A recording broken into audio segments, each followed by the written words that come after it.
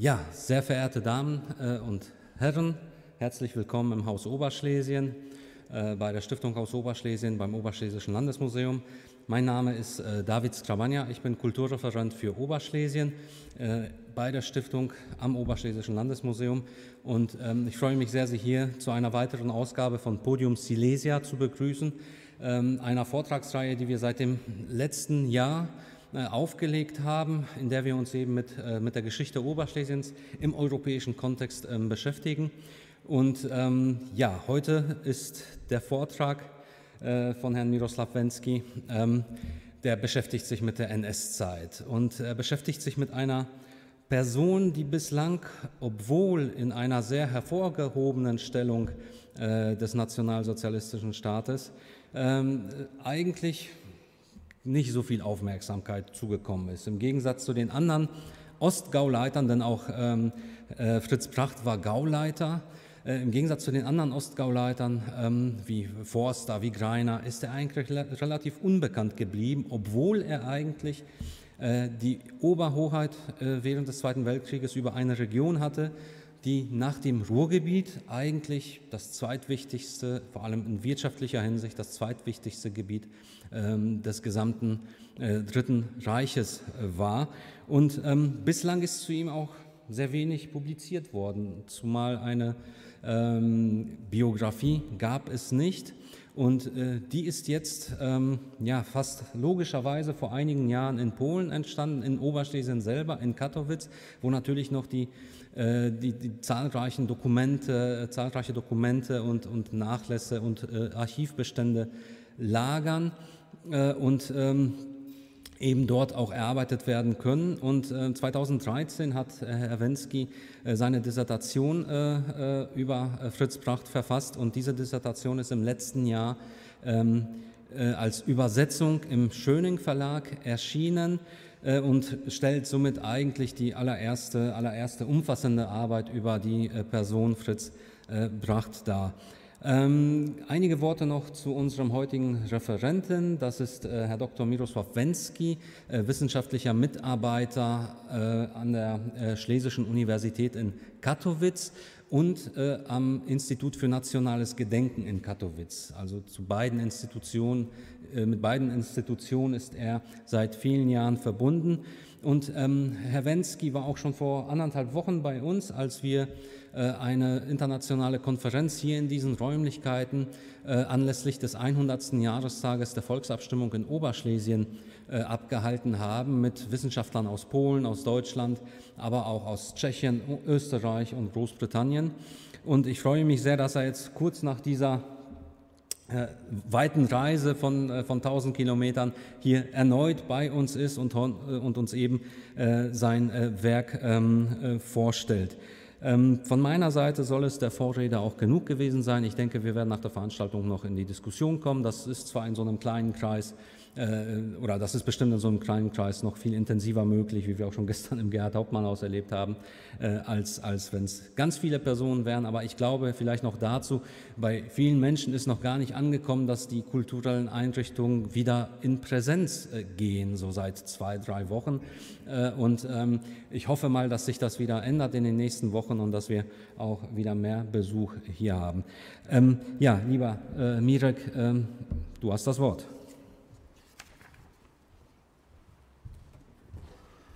Also, eigentlich guten, guten Abend, ja, schon. Also, äh, sehr, sehr geehrte Damen, sehr geehrte Herren, äh, ich freue mich sehr, dass ich hier im Ratingen, im Oberschlesischen Landesmuseum, ein paar Worte über Fritz Bracht sagen kann, also über nationalsozialistischer Funktionär, Politiker, der sehr stark Schicksale von vielen Oberschlesier, aber nicht nur Oberschlesier, beeinflusste und oft auf äh, sehr grausame, äh, grausame Weise. Sie sehen hier das Buch, äh, das ein Ergebnis von mehrjährigen, äh, mehrjähriger Forschungsarbeit ist. Äh, äh, ein Ergebnis von äh, Recherchen als Herr Skabania sagte, in polnischer, in polnischer, in deutscher und auch in tschechischen äh, Archiven.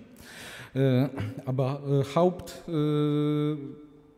Hauptquellenbestand, das sind die, tatsächlich die Akten, die sich in Katowice im Staatsarchiv befinden und eigentlich außer ein paar polnischen Historiker bisher gründlich nicht erforscht wurden. Das ist ausgezeichnete Quellenbasis nicht nur für Forschung über Geschichte Oberschlesiens, aber meiner Meinung nach auch für die Geschichte des Dritten, Dritten Reichs. Da äh, in Katowice befinden sich Akten vielen Behörden der Verwaltung der, der Nationalsozialistischen Partei, die auch allgemeine Prozesse im Dritten Reich, Verwaltungsprozesse, Decisionsprozesse de, de, äh, entziffern äh, helfen. Und äh, so, so, viel ich Informationen zum Bracht und, und äh, NS-Politik in Oberschlesien sammeln konnte, habe ich äh, in diesem Buch äh, benutzt. Also, Fritz Bracht, äh, als schon Herr Skrabania sagte, äh, das war meine Dissertation und natürlich die, das, die erste Ausgabe erschien in Polen. Ich kann sagen, dass ich, bin, ich war der nur der einzige Autor äh, des Buches, aber, aber äh, im Fall der deutschen Fass, Fassung haben wir zwei Autoren, also auch Herrn Dr. Skrabania, der, die ganze in, ins Deutsch übersetzte. Und das ist, also ich bin auch große Dankbar, Dankbarkeit Herrn Skabania schuldig für äh, diese ausgezeichnete Arbeit. Aber fangen, fangen wir vielleicht endlich mit Herrn Gauleiter an. Ähm, der Mann, der Schicksal Oberschlesiens so stark prägte, war eigentlich nicht, nicht Oberschlesier, sondern äh, wurde er im Jahre 1899 äh, in Heiden in äh, Lippe geboren, als Sohn einer Arbeiterfamilie. Wir können also sagen, dass er nicht aus reiche Familie stammte. Es, muss, also, es musste sagen, dass er einfach ein, dass er ein einfacher Mensch war und keine Aufstiegsmöglichkeiten äh, in der Jugend äh, hatte. Äh, seine Ausbildung war eigentlich typisch für diese Gruppe. Es begrenzte sich zur Volksschule und später zur Berufsausbildung äh, als, äh, als Gärtner. Was aber in diesem Fall wichtig war, ist das, dass, dass er direkt nach, nach Schulabschluss zum Militärdienst eingezogen wurde und sich an der Front des Ersten Weltkriegs äh, befand. Das ist also wichtig, dass er zu, zu sagen, das bracht zu einer Generation der deutschen Männer äh, angehörte, die ihre Sozialisierung in Kriegsgraben erlebten. Das, das musste seine für eine spätere äh, äh Lebensdecisionen, äh, Entscheidungen irgendwie, irgendwie prägen und vielleicht auch, auch ein wichtiger Grund war, warum er sich, er sich später äh, für die Tätigkeit in der nationalsozialistischen Bewegung äh, entschied. Äh, äh er hat äh, während des Krieges viele Auszeichnungen gewonnen. Das bedeutet, dass er, dass er sich als sehr tapferer Soldat erschien, hatte aber sozusagen Glück, dass er ein paar Monate vor dem Kriegsende in die äh, englische Kriegsgefangenschaft äh, geriet und vielleicht dadurch sein Leben retten konnte, da es noch später, noch vor dem Ende des Krieges viele Blütegeschlechter an der Westfront gab und die viel, viele Leben der, der, deutschen Soldaten natürlich äh, kostete. An, am Slide sehen Sie ein paar Dokumente aus der frühen Jugend Fritz Brachs, die ich äh, äh, finden könnte. Äh, oben sehen wir ein Beweis, dass er in der Dorfkirche in Heiden äh, als protestantischer Kind konfirmiert wurde äh, und in der Pfarreiarchiv be befinden, befinden sich auch diese, diese Aktenbeweise dafür.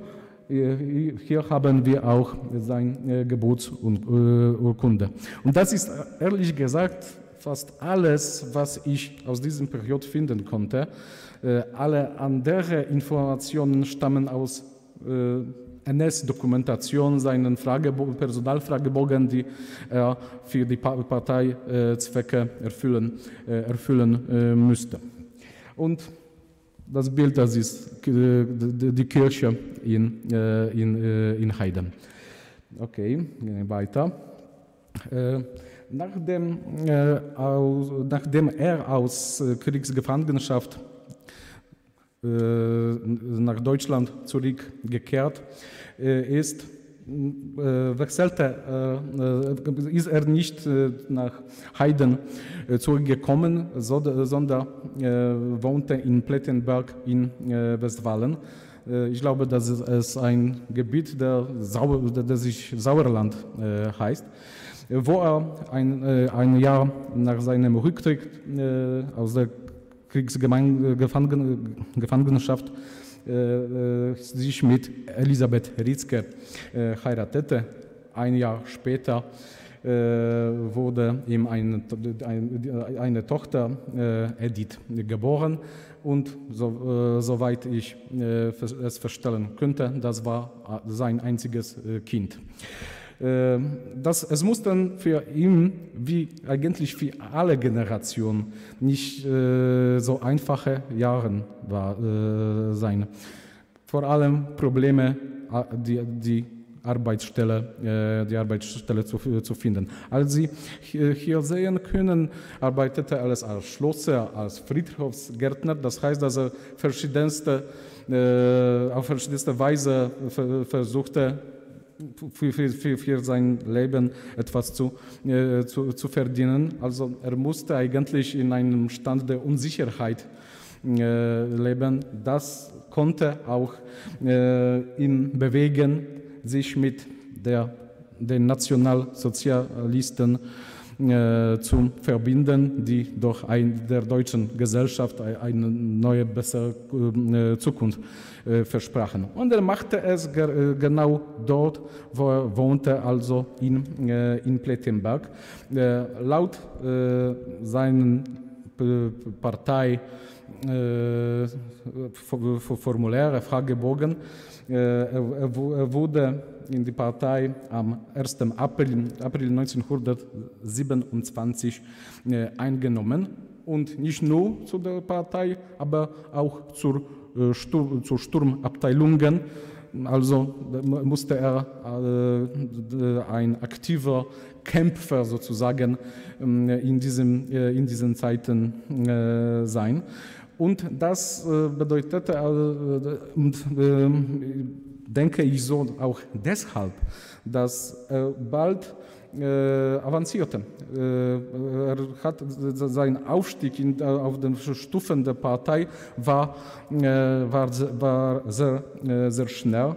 So, schon im gleichen Jahr nach, seines Beitritts zur Partei wurde er zum äh, Ortsgruppenleiter der NSDAP in Pletten, äh, Plettenberg ernannt. Das hieß, dass er äh, ein Führer, Anführer dortiger National, National, Nationalsozialisten wurde. Aber das war nicht die letzte, letzte Stufe. Eine, eine, ein Jahr später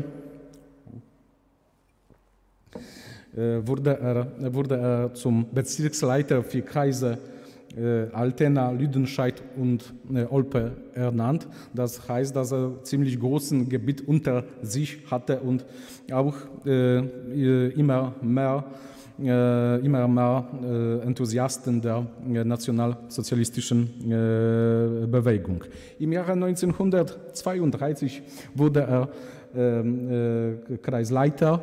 Ähm, diese diese Änderung war damit verbunden, da sich in diesem Period die NS-Partei zu, schon zu, äh, zur Machtübernahme vorbereitete und äh, diese äh, auf, auf, auch auf Ebene der Kreise die Organisationen äh, bildete, um äh, in Regionen schneller äh, die, die Macht zu, äh, zu übernehmen. Ja?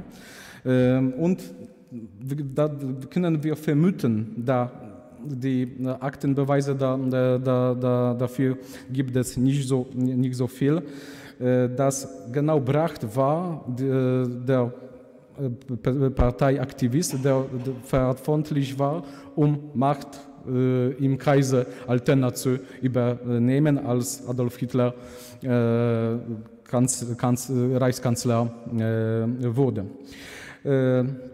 Äh, diese Jahre waren für Bracht, für seine Parteikarriere auch deshalb sehr wichtig, dass, äh, weil er damals Vertrauen seines äh, Vorgesetzten Gauleiter Josef Wagner äh, gewonnen hat, äh, der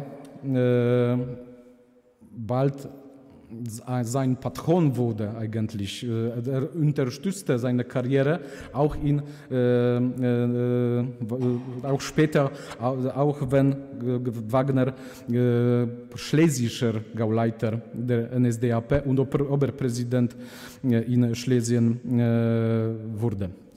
Äh, schon nach Machtübernahme gab es äh, auch äh, wichtige Ereignisse im Privatleben bereits, als Sie hier sehen. Er hat sich mit Elisabeth geschieden lassen und neue, neue Dame heiratete, also Paula Hesseler. Das ist auch interessant, da diese Paula Hesseler, sie war Schwester eines äh, des Gründers der, der NSDAP in Plettenberg. Sie sehen hier mm, äh, das, das Hotel in Plettenberg, das als erste Parteilokal in dieser Ortschaft diente.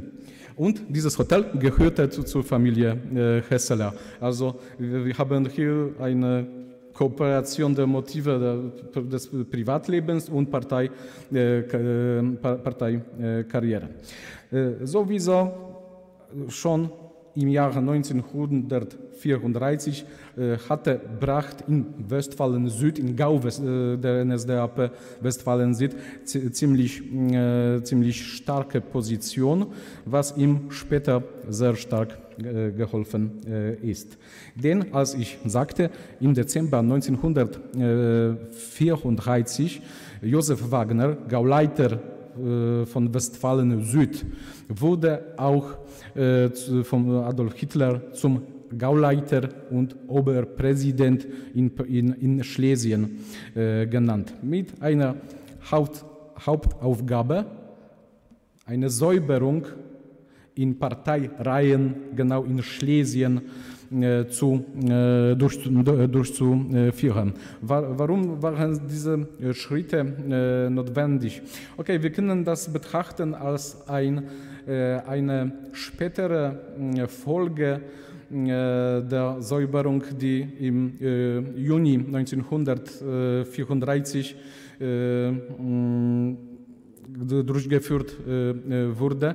Ich meine natürlich die, die Exekutionen der Sturmabteilungenführung, wie, wie wann die, die, die wichtigsten Funktionäre der, der SA liquidiert wurden. Und besonders blutig diese, diese Nacht der langen Messe, sogenannte Nacht der langen Messe, äh, in Schlesien durchgeführt äh, wurde. Aber äh, Parteiführung war damit eigentlich nicht zufrieden.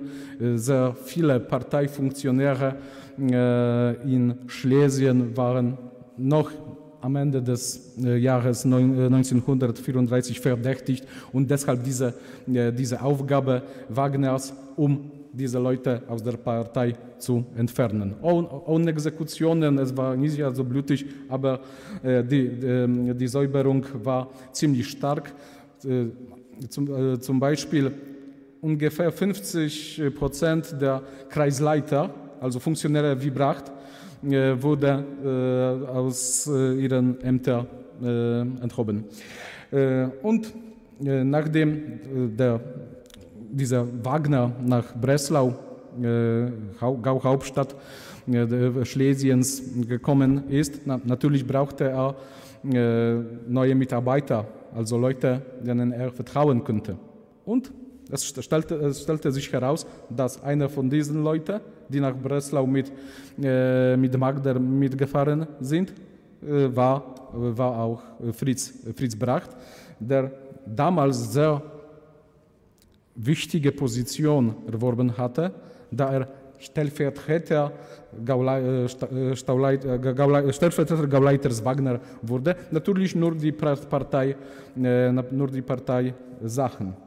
Und man kann äh, auch in Quellen finden, Beweise finden, dass diese Säuberung teilweise von Bracht persönlich äh, durchgeführt wurde, dass einerseits das Vertrauen Wagners verstärkte, andererseits auch eine relativ selbstständige Position in der Partei in Schlesien äh, dem, dem, Brach, äh, dem Bracht gab. Und äh, noch dritte Sache, schon damals konnte er sich als sehr mm, äh, tüchtiger äh, Parteifunktionär äh, darstellen, was in München oder in Berlin schon damals bemerkt, äh, bemerkt wurde. Also ein weitere Schrift für die weitere Partei, äh, Parteikarriere. Äh, ein anderes wichtiges Moment, das ist Jahr 1937, also ein Jahr, wo die Mitgliedssperre in der Partei aufgehoben wurde. Nach, dem äh, nach, der, nach der Machtübernahme wollten sehr viele Leute diese Konjunktur benutzen und NSDAP beitreten, was beschränkt wurde. Aber im Jahre 1937 war die Situation ein bisschen anders. Das, das sind schon vier Jahre der nationalsozialistischen Regierung in, in Deutschland. Die Partei hatte damals ganz andere Aufgaben, als es viele, äh, vor Jahren waren. Jetzt, das war die, die ein, äh, einzige Partei, die, äh, die, äh, die in Deutschland wirkte. Und in diesem Machtgefüge des Dritten Reichs, die Rolle äh, der Partei war eigentlich die Gesellschaft zu kontrollieren und pro, äh, pro, propagandistisch zu, äh, zu bearbeiten. Zu diesem Zweck schöpfte man sehr komplizierte, sehr breite und tiefe eigentlich äh, Struktur. Also fast äh, jeder Deutscher sollte von einem Parteifunktionär beobachtet werden. Und das, das ist ein, ein, ein wichtiges Machtfaktor in Dritten Reiches, in die, in die Dritten Reiches, der Faktor der Kontrolle der Gesellschaft. Also eigentlich nicht Gestapo, die zwar berühmt war, aber nicht so groß. Es gab doch nur ein paar tausend äh, Gestapo-Funktionäre in, Deutschland. Aber im Alltag, die, es waren die Parteiaktivisten, sogenannte politische Leiter dafür verantwortlich, um die, äh, diese Kontrolle zu, äh, zu, zu, zu, zu machen. Und das muss, und in Schlesien war auch dafür Bracht verantwortlich, da er diese Strukturen ausbauen musste und natürlich das, äh, das machte ein folgender Punkt für ihn, ja, auch für seine, äh, für seine Karriere. Natürlich, äh, es gab auch andere Aufgaben, Partei, war äh, an vielen äh, Faktoren, vielen Richtungen der nationalsozialistischen Politik in Schlesien beteiligt, zum Beispiel an Volkssturm, Volkssturmspolitik im Regierungsbezirk Oppeln, also im deutschen Teil Oberschlesiens, also im Gebiet, wo ziemlich starke polnische Minderheit, Minderheit lebte. Auch für viele, viele Sachen, die in, dieser Frage von, die, von der nationalistischen, nationalsozialistischen Behörden gemacht wurde, auch dafür war teilweise zumindest für Fritz Bracht verantwortlich. Und natürlich auch äh, Verfolgung der jüdischen äh, Bevölkerung. In diesem Fall aber fällt es Doku Dokumente, die die Tätigkeiten Brachts zeigen könnten, nur sehr wenige eigentlich.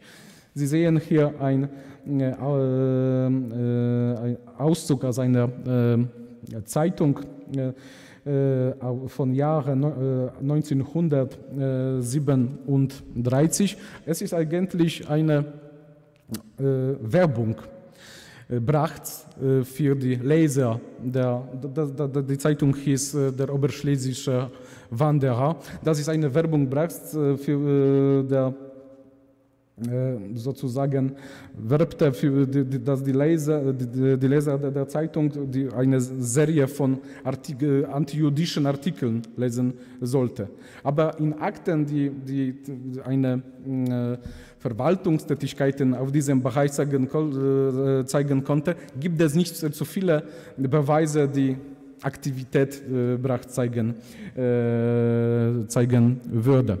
Außerdem auch eine andere Beispiele der Illustrationen zu, zu, zu diesem Period in Brachts Karriere.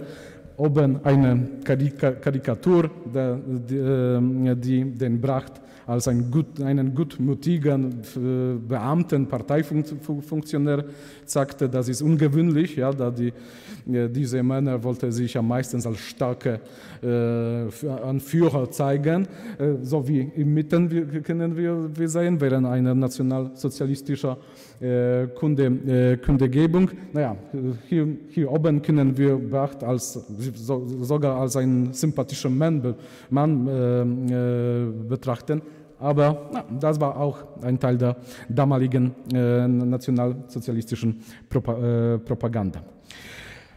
Äh, das waren, als ich, als ich sagte, wichtige, äh, wichtige Jahre auch für Bracht, tüchtiger Parteifunktionär, äh, der die schwere, schwere Aufgaben durchführen, lösen kann, aber die wichtigste Zeiten für, für Bracht waren noch vor ihm.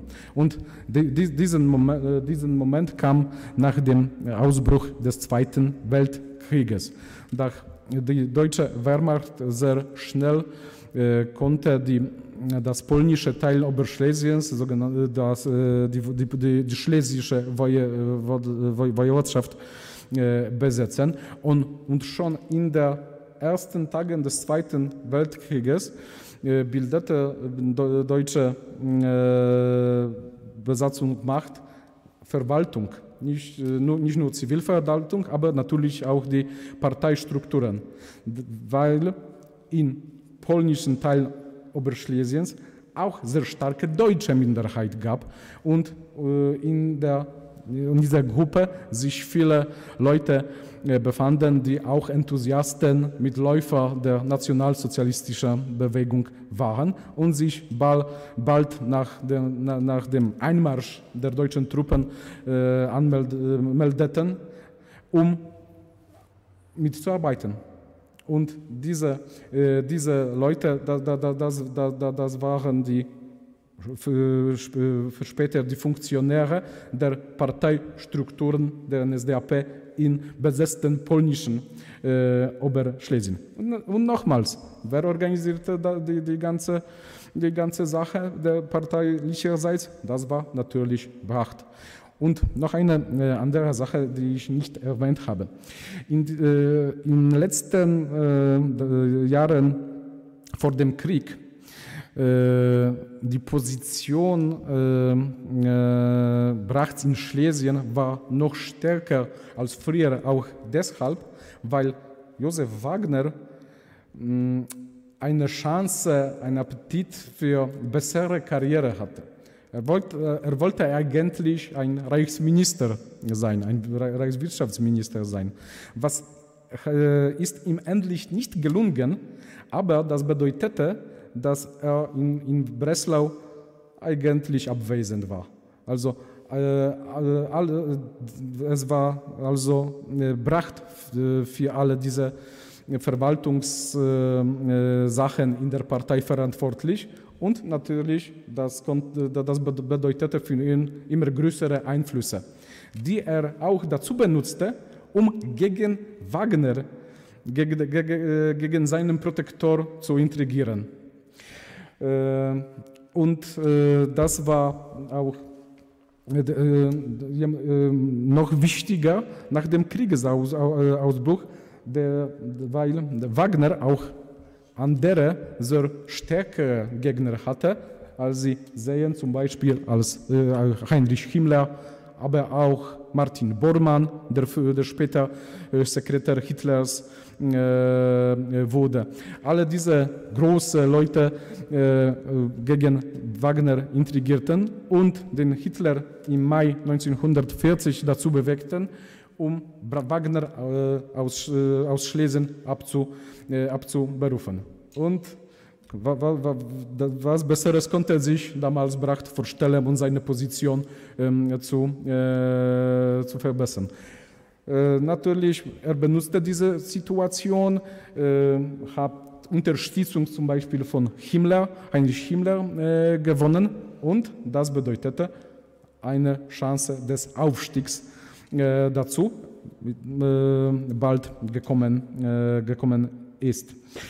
denn im Dezember 1940 entschied sich Adolf Hitler, die Provinz Schlesien in zwei äh, selbstständige Provinzen Niederschlesien und Oberschlesien äh, zu teilen. Natürlich neue Verwaltungseinheiten brauchten verantwortlichen vorgesetzte Beamter, die die Verwaltung, die Partei dort führen sollte. Und für Oberschlesien wurde die Kandidatur Bracht Brachts äh, gewählt, was bedeutete, dass im, Juni, im Januar 1941 Bracht zum Gauleiter und Präsident Oberschlesiens genannt, genannt wurde. Und das was bedeutete, dass er zu enge Elite der politische Elite des Dritten, äh, äh, des Dritten Reiches avancierte. Denn die Gauleiter und Oberpräsidenten, ja, die, die, die, die waren die richtigen Leiter der ganzen Verwaltung und äh, Zivilverwaltung und, und, äh, und der Partei in, in den Gebieten, die äh, äh, die ihm, äh, ihnen unter, äh, unterlagen. Sie, sie, sie wurden von Hitler sogar als Vizekönige genannt, also die enge regionale Elite. Und in diesem Fall wurde Bracht eine, gehörte Bracht zu einer der, zu der wichtigen Gruppe der deutschen Funktionäre, die die die äh, Gebiete des äh, besetzten Polens äh, verwalteten. Als David schon früher sagte, es gab viele sogenannte, ein paar sogenannte Ostgarleiter, die äh, jedoch viel bekannter als Bracht bis heute sind. Ich meine also den Erich Koch, äh, Koch aus Ostpreußen, äh, ich meine den Albert Forster aus Danzig, Westpreußen oder Arthur Greiser aus Wielkopolska, Großpolen Polen und in, in der äh, NS-Zeit äh, Warte, äh, Warteland. Es waren die Leute, die für die, die ganze äh, Besatzungspolitik in diesen Gebieten verantwortlich waren. Und was ist dabei, äh, dabei wichtig zu, äh, zu betonen? Die äh, West, westlichen Gebiete de, de, de, Polens wurde nach, in Oktober 1939 in das Dritte Reich eingegliedert, annektiert. Und laut Vorhaben Himmlers, Hitlers sollte, sollten die, diese Gebiete ungefähr nach zehn Jahren der Besatzung äh, ziemlich germanisiert werden. Und natürlich für diese Sachen waren die äh, Gauleiter äh, verantwortlich. Es war aber ein bisschen äh, mehr kompliziert. Okay, äh, welche äh, Ämter, Ämter also bracht als Gauleiter auch im Oberschlesien bekleidete? Vor allem als Gauleiter war er Führer der NS-Partei in, Ober, äh, in Oberschlesien. Als Oberpräsident leitete er Arbeiten der allgemeinen Verwaltung, was nicht das gleiche war, natürlich war nicht äh, äh, wie Partei. Aber ähm, äh, bekleidete auch einen anderen wichtigen Amt. Er wurde zum Beauftragter des Reichskommissars für die Festigung deutschen Volkstums in Oberschlesien äh, ernannt. Ähm, was für ein Amt das war. Das war ein Amt, das im, äh, am, äh, am Anfang des Krieges gebildet wurde und der Reichskommissar, also der Chef dieser Strukturen, Heinrich Himmler war, dem Hitler die Aufgabe gab, alle diese äh, äh, Sachen, die mit Volkstumspolitik, Aussiedlungen der Polen, Ansiedlungen von äh, sogenannten Volksdeutschen verbunden war. Also Himmler selbst be, be, betrachtete sich als ein, eine Person, die alle diese Aufgaben im Namen des Führers durchführen sollte. Aber die Ausgabe, andere, die Gauleiter waren der, anderer Meinung. Sie waren doch Vizekönige, ja. Äh, sie, äh, sie, dachten, dass sie nur dem Hitler direkt untergeordnet geordnet waren. Also Erich Koch, vielleicht, vielleicht nicht so, so viel, aber Albert äh, Forster, äh, sie, sie haben genug große äh, Einflüsse in äh, besonders genug gute Kontakt, persönliche Kontakte mit Hitler, um sich dem Himmler äh, widerzusetzen. Aber nicht Bracht, der ein junger Gauleiter war, ein sogenannter schwacher Gauleiter, da er nicht äh, eigentlich den, den, Hitler nicht persönlich kannte aus der Kampfzeit, also aus den Jahren vor, dem, vor 1933, also nicht so große Selbstständigkeit hatte als, als, als die, die anderen äh, Funktionäre äh, dieser, äh, dieser Art. Und das ist, auch, das ist besonders deshalb so wichtig, dass später, als er Volksstumspolitik in Oberschlesien durchführen musste, schien es, dass er alle Schritte genau laut äh, Befehle äh, Himmler, Himmlers durchführen sollte. Es war nicht so, aber das, es war für, für, ihn, für ihn sehr kompliziert, seine eigene Politik in Oberschlesien auf diesem Bereich zu, äh, zu machen. Äh, als Gauleiter hatte Fritz Brauch auch, auch andere Ämter, vielleicht nicht so wichtige wie Gauwohnungskommissar, Reichsverteidigungskommissar und auch ein paar andere. Äh, warum ich äh, darüber so viel, äh, viel, sehr viel rede? Also, wenn wir jetzt die neueste Bücher über Nationalsozialismus lesen, da können wir bemerken, dass es äh, äh, das Machtsystem des Dritten Reiches schon ein bisschen anders bewertet ist als früher.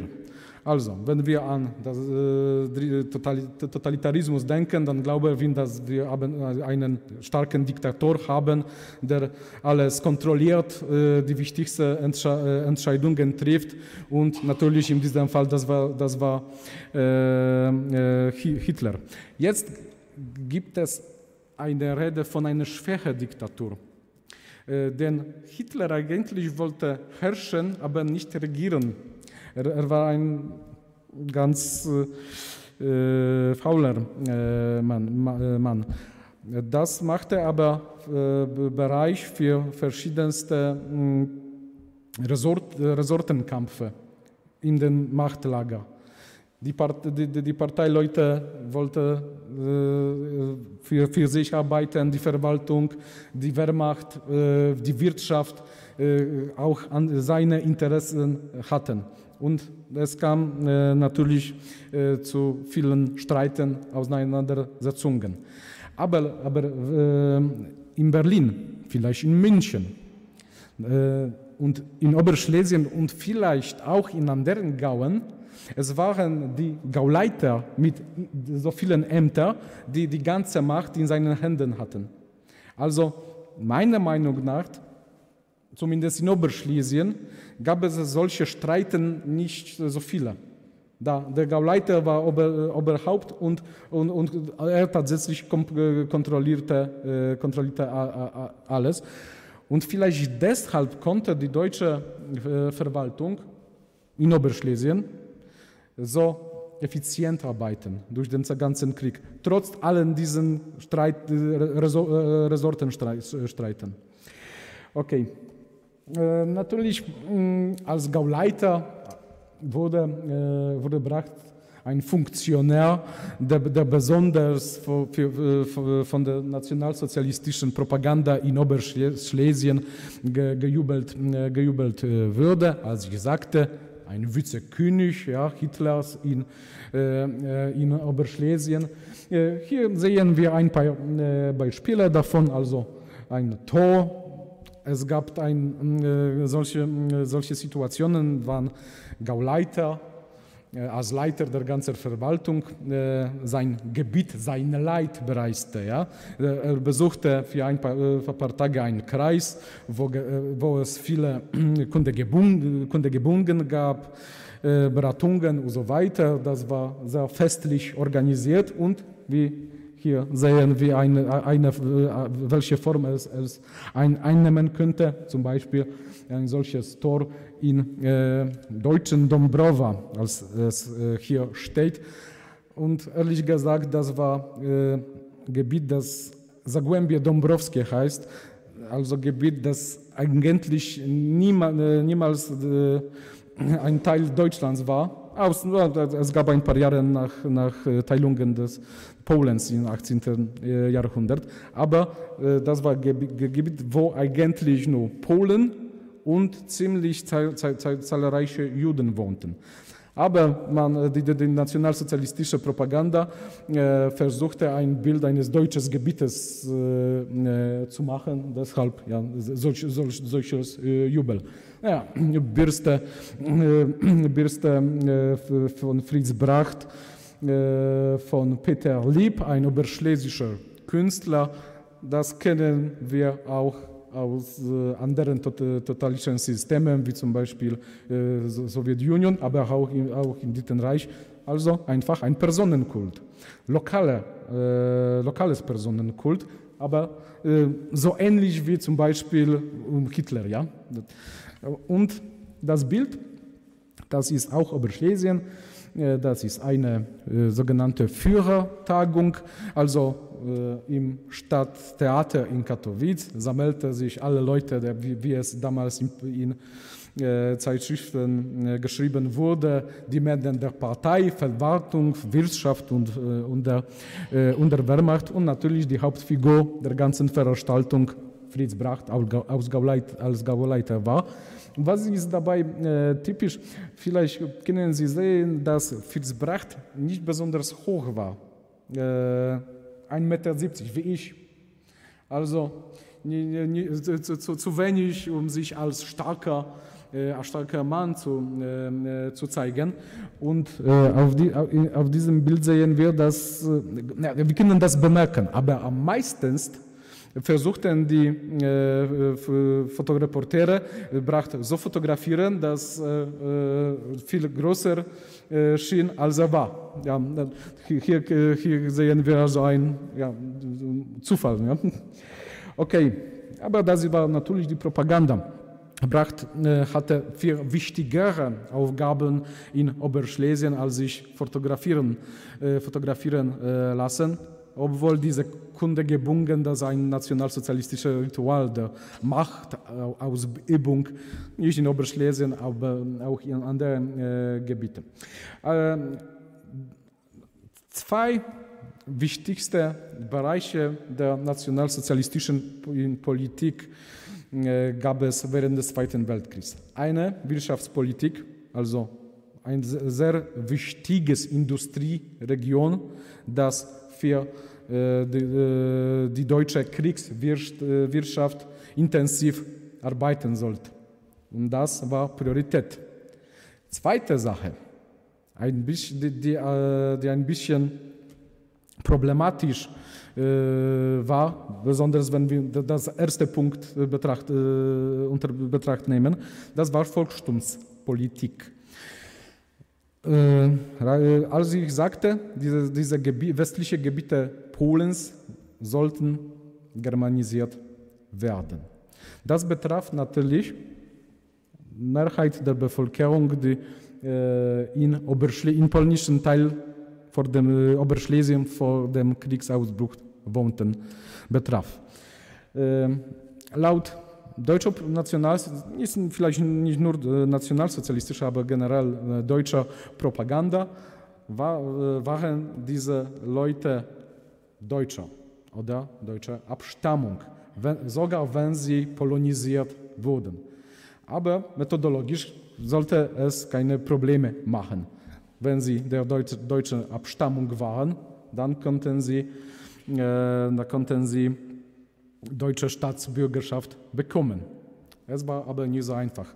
Wir sehen diese Plakate hier äh, aus Zeiten des Plebis, äh, Plebiszits in Oberschlesien, also aus einer Zeit äh, vor, äh, von 1921. Äh, die Volksabstimmung, die damals in Oberschlesien äh, organisiert wurde, wurde zwar von deutscher Seite, deutschen Seite gewonnen, aber trotzdem fast, äh, äh fast 500.000 von Oberschlesien sich damals als Polen de äh, deklarierten. Später haben wir zwei, äh, 20 Jahre der polnischen Herrschaft. Die Oberschlesien besuchten die polnische Schulen. Sie, sie, werden auch ein bisschen, Polon, äh, nicht ein bisschen, sie werden auch pol polonisiert. Außerdem, dass äh, der große Menge sich als Polen einfach äh, betrachten. Naja, wie also diese, zwei Sachen vereinbaren, Deutsch, vereinbaren?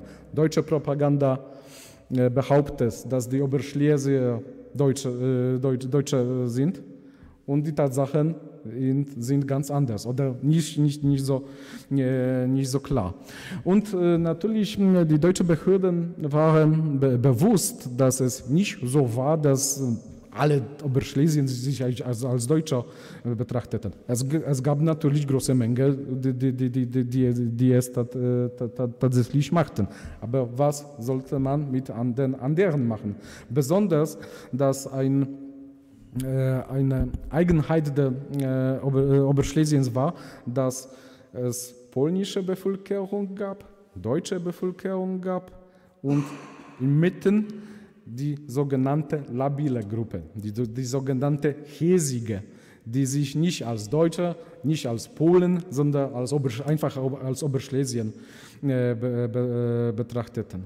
Und was, was damit mit den Leuten äh, mit den Leuten zu machen. Besonders, äh, dass die deutschen Behörden keine Klarheit am, am, Anfang des Krieges hatten, wie die, diese Stimmungen äh, in Oberschlesien tatsächlich aus, aussahen.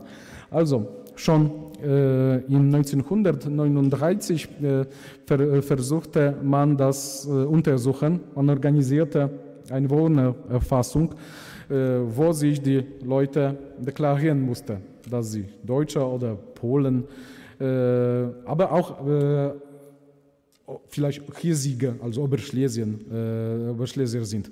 Und, und äh, das Ergebnis äh, dieser Einwohnererfassung war schockierend, sogar für die deutsche Behörden, dass 90 Prozent der Oberschlesien in ehemaligen schlesischen Woiwodschaft sich als Deutscher deklarierten. Okay, die, Gründe, die Gründe, warum sie so machten, das ist, eine ganz, das ist ein Thema für einen ganz anderen Vortrag.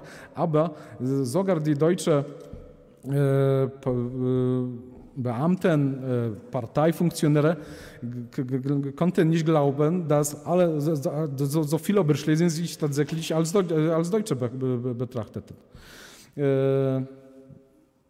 Äh, 90 Prozent. Das war ja unglaublich. Deshalb musste man einen anderen Werkzeug finden, um diese Verhältnisse endlich festzustellen. Und man, äh, diese, äh, dieser, als dieser Werkzeug wurde die sogenannte deutsche äh, Volksliste äh, gewählt. Aber be bevor diese, diese Aktion der Eintragungen in die deutsche Volksliste angefangen wurde, äh, gab es ein, den Jahr 1940, also äh, Sieg, äh, siegreiche für Deutschlandkrieg mit Frankreich, also sozusagen eine Freiheitsbewegung für, auch für Volkssturmspolitik in Polen. Da man, man, man, man, konnte sich damals vorstellen in Deutschland, dass ja, der Krieg schon gew gewonnen ist. Damals blieb es nur England, die sich zwar verteidigte, aber außerdem nichts. Also können, äh, die deutschen Behörden können auch ihre verbrecherische Rassen- und Volkssturmspolitik äh, damals durchführen.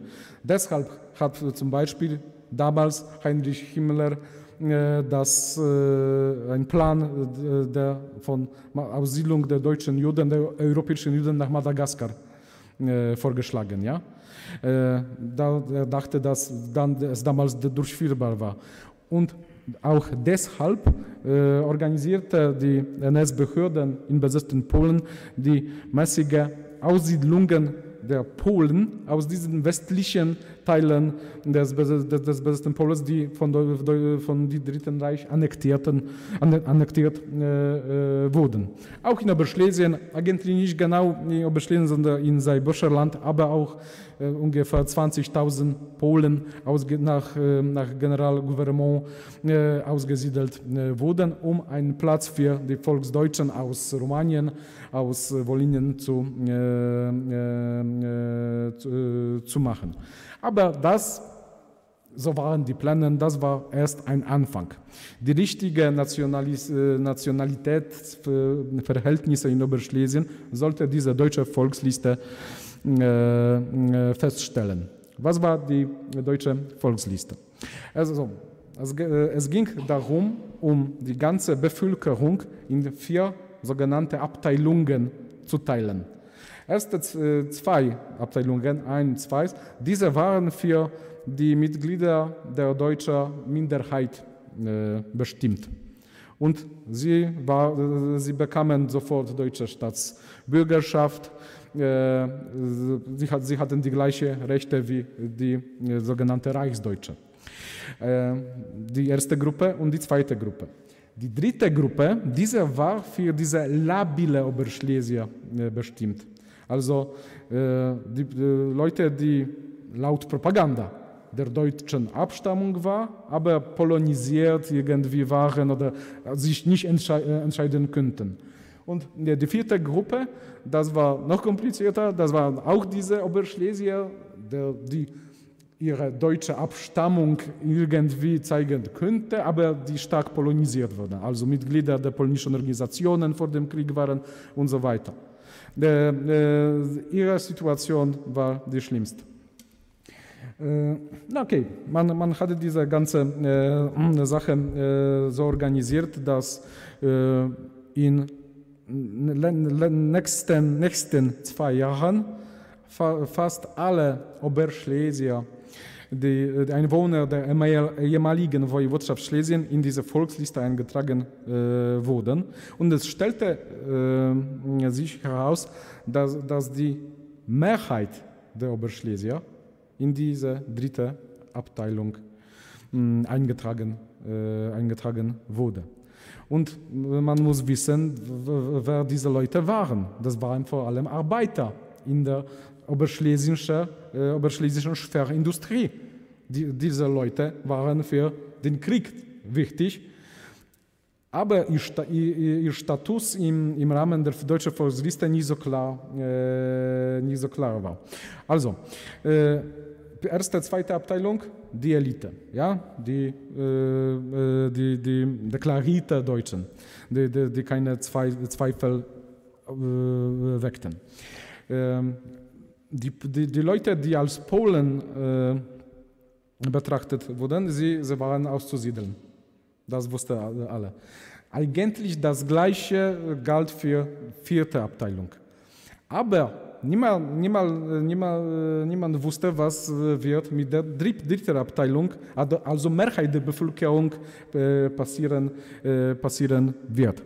Aber die, die, die, diese Leute waren für die, die deutsche Kriegswirtschaft notwendig als Arbeiter. Und wie, wie sich schon bald äh, herausstellte, auch für die Wehrmacht. Und und hier, und hier äh, äh, muss ich die, äh, die Situation Brachs noch, ein, noch, noch, noch kurz mm, er, erklären. Also, wenn er von Adolf Hitler ernannt, zum Gauleiter ernannt wurde, bekam er eine Hauptaufgabe. Oberschlesien muss produzieren. Das ist Priorität, das ist die wichtigste Sache. Aber die Vorschriften zur deutschen Volksliste bearbeitete Himmler, Heinrich Himmler und seine Leute. Und diese Vorschriften sahen es vor, dass die dritte Abteilung nach dem Kriegsende ins Reich übersiedelt werden soll, um dort assimiliert zu werden. Sie, äh, laut diesen Vorschriften sollte, sollten diese Leute keine Staatsangehörigkeit äh, bekommen die Situation also der, der, der, der, Mehrheit der Bevölkerung war unklar. Wie konnte man von diesen Leuten erwarten, dass, dass sie arbeiten oder als, als Soldaten dienen werden, wenn sie keine Staatsbürgerschaft haben, wann, wann, wann sie ihr Vermögen verloren, dass dieses von deutschen Behörden beschlagnahmt wurde und so weiter. Das war eine gefährliche Sache. Also, das war auch deshalb gefährlich, dass die Leute, diese Leute einfach ja, zum Pol mit, mit, sich mit polnischen Be äh, Widerstandsbewegung verbinden wurde. Und tatsächlich sehr viele Oberschlesier äh, das, äh, das taten. Und Gefahr, dass diese Leute übersiedelt werden, bedeutet, konnte auch für deutsche Industrie eine Tragödie bedeuten. Denn die, diese muss, mussten in, die, in, in, in äh, oberschlesischen Bergwerke, Hütten und so weiter äh, arbeiten. Und diese Situation bemerkte sehr bald Fritz Bracht.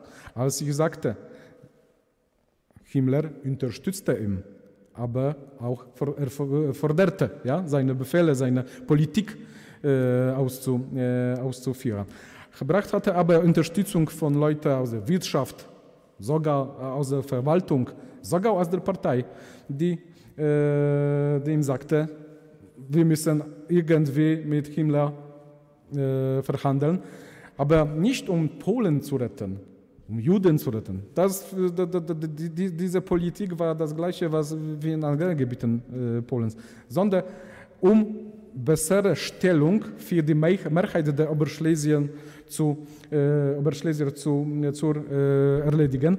Und, äh, und in, schon in 1941 ist, es, ist dem Bracht gelungen, diese ein bisschen bessere Stellung für die Dreier, für die Abteilung 3 zu, äh, zu gewinnen. Am Anfang äh, konnte, äh, Himmler überzeugen, um, um die Pläne der Umsiedlung der Dreier zu überzeugen. Ähm, später konnte er Himmler überzeugen, um diesen Leuten ihren Vermögen nicht zu, nicht zu beschlagnahmen. Aber die, das wichtigste Moment war nach, äh, am Anfang des 1942, also nach der Schlacht um Moskau, die von äh, Wehrmacht verloren wurde und äh, auch für Wehrmacht äh, sehr große Verluste bedeutete. Man brauchte Rekruten. Woher? Auch aus, aus Oberschlesien.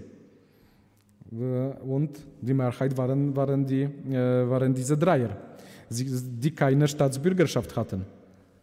Wenn wir aber den Oberschlesier diese Staatsbürgerschaft geben würden, dann können sie als Soldaten für, die, für, für, für, für das Dritte Reich kämpfen. Und es war unwichtig, unwichtig ob sie das eigentlich wollten oder, oder, oder nicht. Und äh, das geschieht genau äh, im 1942, wann diese Gruppe 3, die Abteilung 3, die deutsche Staatsangehörigkeit auf Widerruf äh, bekommen haben. Was bedeutete dieses, dieses Widerruf?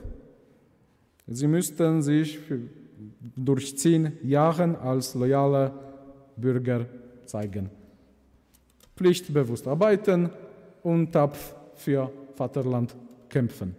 Und was äh, noch äh, wichtig dabei war, mit dieser deutschen Volksliste, niemand fragte diese Leute, ob sie sich Polen, Deutsche fühlen. Nicht diesmal.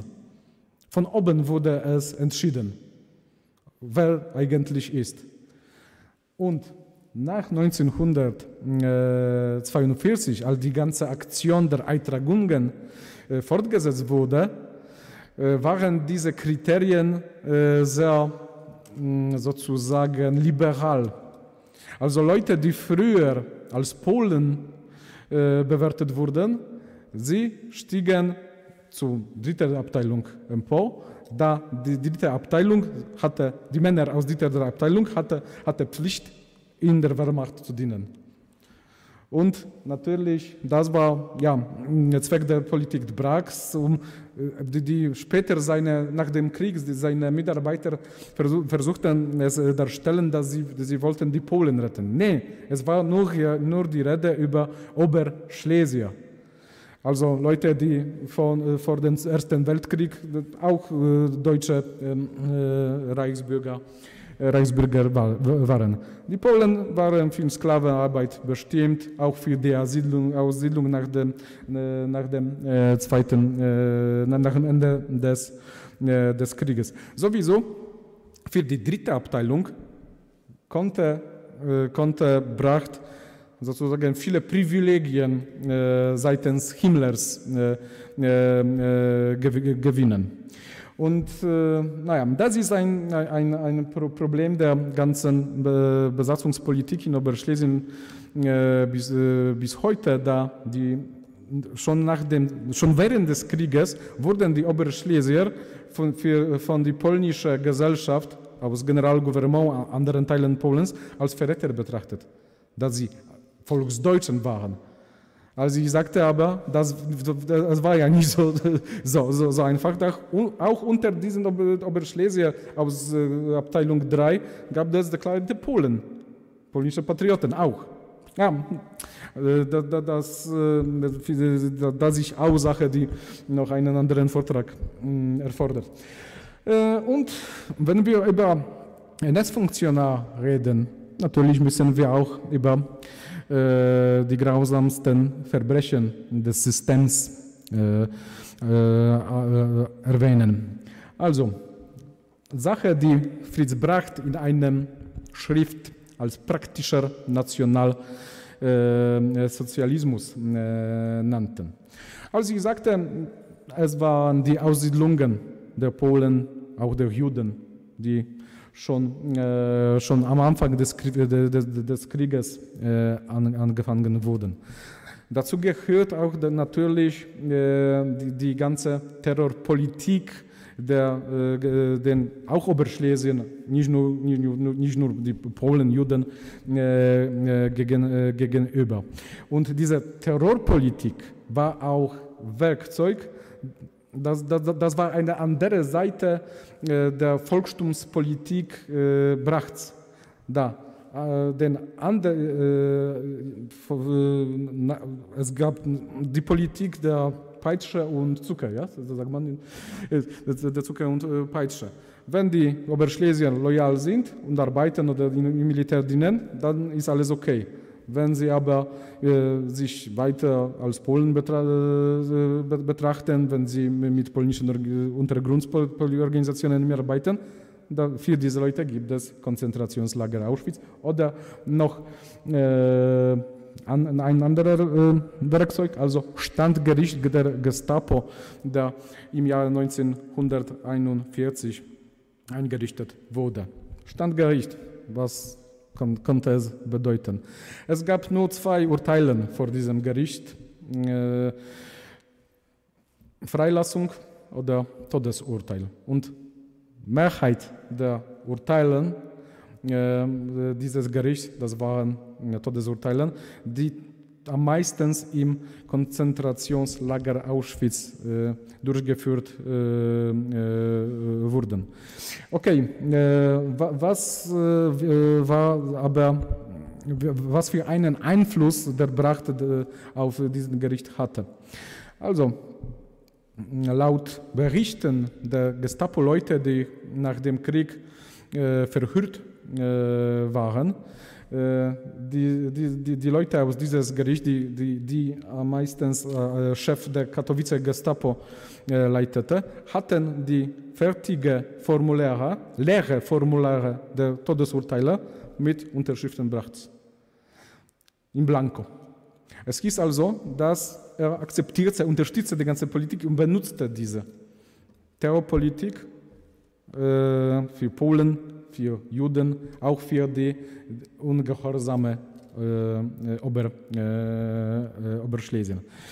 Ähm, wenn ich wissen wir über äh, Einflüsse Brachts auf die Euthanasie-Aktion, die sogenannte T4, Aktion äh, in äh, Oberschlesien. Wir, äh, es ist aber sicher, dass auch in oberschlesischen Heilanstalten wurden die Geistkranke ermordet, in Rybnik wie in Lublinic. Aber die ganze Aktion war so getarnt, dass keine, dass, trotz mehrjährigen Recherchen konnte ich keine äh, klare Beweise da, äh, für Engagement Brachts äh, auf diesem Bereich finden. Und noch eine Sache. Gau-Oberschlesien, das war Gau, in, wel, in welchen Grenzen sich Konzentrationslager Auschwitz-Birkenau äh, befand. Die Frage ist also, in welcher Verbindung Bracht zu, zu, zu, zu diesem Lager stand. Okay, äh, Gebiet des Konzentrationslagers Auschwitz-Birkenau, das war eigentlich ein selbstständiges Interessengebiet von SS. Also es wurde von der Macht Brachts eigentlich rausgenommen.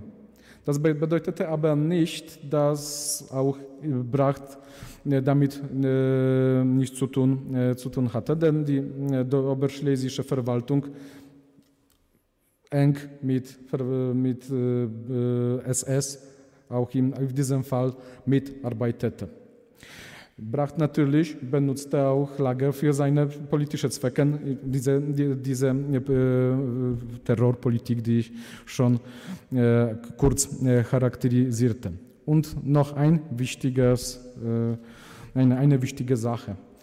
Die oberschlesischen Juden auch die Juden aus Ost, östlichen Teilen des Gaues, also Zagłębie Dąbrowskie, Chrzanów, das, auf diesem Gebiet lebten auch zahlreiche, lebten auch zahlreiche Juden, ungefähr 100.000.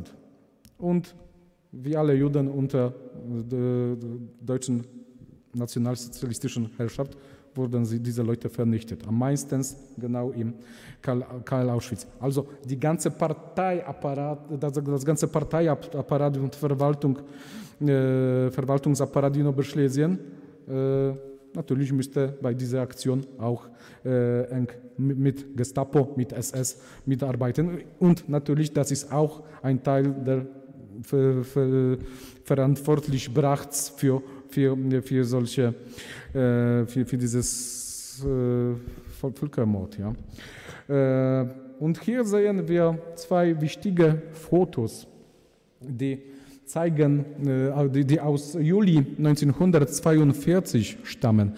Äh, damals weilte Himmler, Heinrich Himmler in Oberschlesien und äh, Konzentrationslager Auschwitz besuchte. Bracht begleitete Himmler bei dieser Visitation, was auch ein, ein, ein, kurzes, ein kürzer Bericht in Katowicer Zeitung ein paar Tage später zeigte. Aber viel wichtiger ist, viel wichtiger ist dieses Bild, das zeigt, Himmler bracht genau in Konzentrationslager Auschwitz. Also an einem Tag, wo diese beide Vergassung der Juden beobachteten. Also Fritz Bracht wusste peinlich, peinlich sehr genau, was dort passierte und trotzdem daran teilgenommen, teilgenommen hatte. No, das sind ja vielleicht die wichtigsten Punkte. Okay. Man sollte allen diesen Punkten viel mehr Zeit widmen, als, widmen, als wir vielleicht heute haben.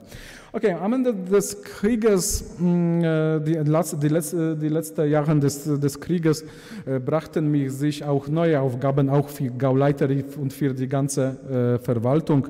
Also Vorbereitung des Industriegebietes für Luftangriffe, wie, wir wissen, schon damals demolierten die alliierten Flugflotten Ruhrgebiet und andere, äh, andere Städte, Städte und Gebiete Deutschlands.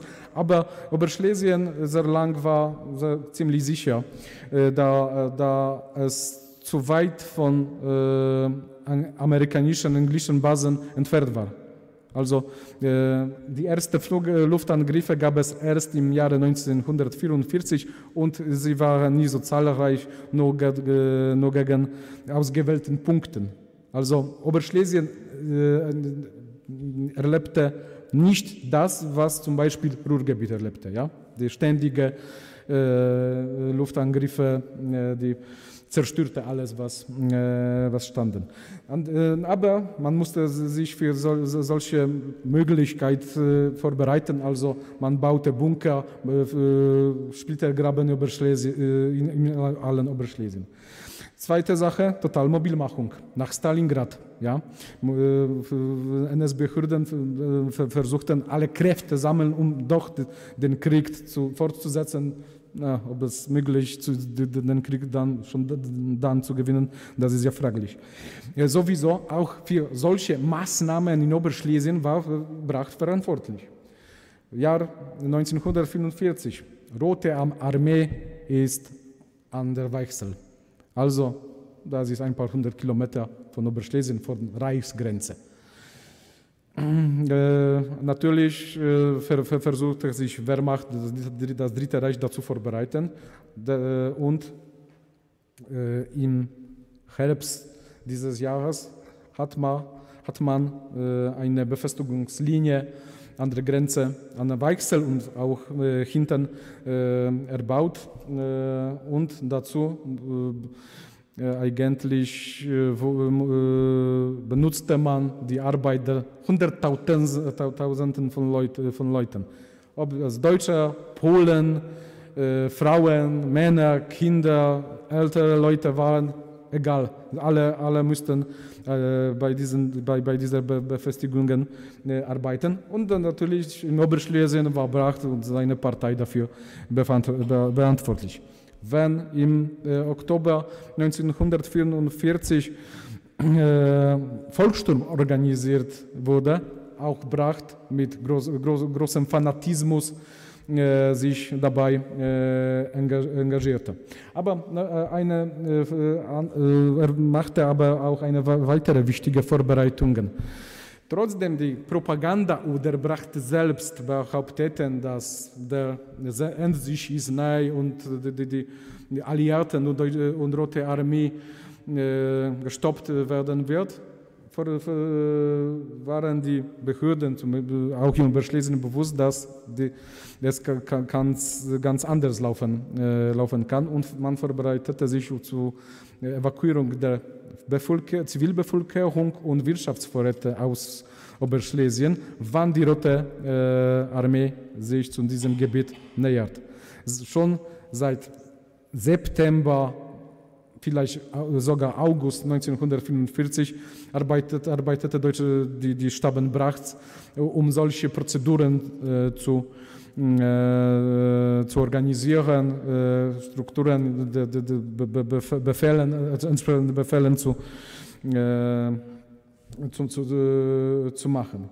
Wenn es aber im Januar 1945 zum äh, neuen Offensive der Rote äh, Armee äh, kam, bald stellte es sich heraus, dass alle diese Befestigungsarbeiten alle, äh, alle diese Vorbereitungen zur Evakuierung, Organisierung des Volkssturms zu nicht äh, un, unnützlich waren. Niemand konnte Russen, Russen halten und bald erschienen sich die, die, die russischen Panzer auch in Oberschlesien.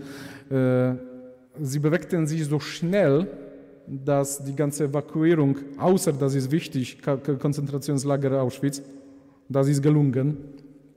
Also Todesmarsche wurde organisiert, andere tausende Opfer. Aber äh, insgesamt die Bevölkerung, äh, Wirtschaftsvorräte, diese nicht evakuiert äh, werden konnte. Auch, zumindest aus äh, oberschlesischen Industriegebietes, die vielleicht Gebiete wie Oppeln, westliche, Seite, westliche Seite Oberschlesiens, ja, die, die, die, diese konnte teilweise evakuiert werden, aber nicht, Industrie, nicht Industriegebiet. Und machte man später nach dem Krieg dem Wracht Vorwürfe, dass es seine Schuld war, dass diese Evakuierung nicht gelungen, da tausende Leute auf, auf den Gebieten blieben, die von deutscher äh, Russ, wieder von der Roten Armee besetzt wurden, was mit vielen äh, Gewalttaten äh, ja doch verbunden äh, äh wurde auch andere Sache. Das ist ein, auch ein Teil der Geschichte Oberschlesiens. Sogar in Polen nennen wir das jetzt Tragödie Oberschlesiens. Das, aber äh, das ist ganz äh, andere, andere Sache. Aber äh, meiner Meinung nach waren diese Vorwürfe gegen Bracht falsch, da er tatsächlich solche, solche Vorbereitungen machte. Zwei die Russen bewegten sich so schnell, dass diese Pläne nicht durchgeführt werden konnten, einfach. Und dritte Sache, konnte eigentlich Bracht das ganze Prozess nicht leiten, daher kurz vor Einmarsch der russischen Truppen in Katowice den Herzinfarkt bekommen hat und selbst musste nach Bad Kudowa, Kurort in Niederschlesien, evakuiert werden. Und genau in dieser Bad Kudowa verbrachte er sein, die, die, die letzten Monate seines, seines Lebens. Was ist interessant, es gibt in Quellen ein paar Informationen, die ich eigentlich nicht ganz klar mm, erklären konnte, dass er noch in Bad Kudowa auf Befehl Hitlers, er konnte den Gauleiter verhaften zu lassen als Hitler, dass er verhaftet wurde. Aber das sind nur, nur, nur, nur, nur ein paar Hinweise, als, als gesagt, die, die ganze Sache ist nicht so klar. klar. Sicher ist aber, dass im April ein neuer Gauleiter Oberschlesiens ernannt wurde, Fritz Reckmann, als wir hier in diesem Zeitungsnotiz sehen können. Das bedeutete also, dass Bracht ganz an der Seite gestellt, gestellt wurde. Okay, das sind aber die letzten Tage des Dritten Reiches. Am 9. Mai in Bad Kudowa, in diesem, in diesem Gebäude, in Villa Grunwald, beging Bracht mit seiner Ehefrau Paula Selbstmord. Also das war eigentlich symbolisch. Das ist der letzte Tag des Zweiten Weltkriegs, der Weltkrieges. Und das ist natürlich das Ende des Mannes, der nur im nationalsozialistischer Herrschaft so große Position gewinnen konnte als Arbeiter. Für Fritz Bracht bedeutete Nationalsozialismus äh, ein Aufstiegsmöglichkeit, soziale Aufstiegsmöglichkeit.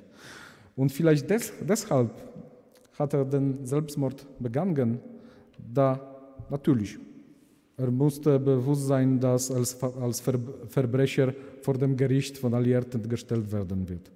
Aber vielleicht macht er das deshalb, da er sich nicht ein anderes Leben schon damals vorstellen äh, vorstellen äh, könnte.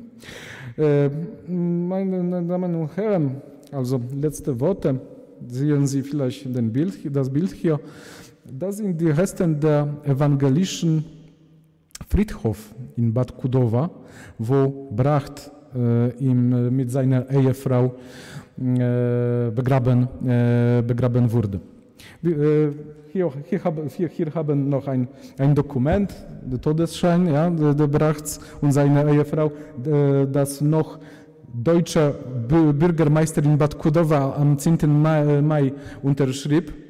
Ja, das bedeutete, was, dass die Russen noch in, in Bad Kudowa damals waren, weiß niemand. Ja, aber, äh, aber das ist auch Beweis dafür, dass äh, Bracht, wie man später Verdacht hätte, nicht nach Spanien äh, aber tatsächlich starb und äh, dort noch weiter in äh, Bad Kudowa liegt, obwohl eigentlich der Friedhof schon nicht mehr existiert. Vielen Dank.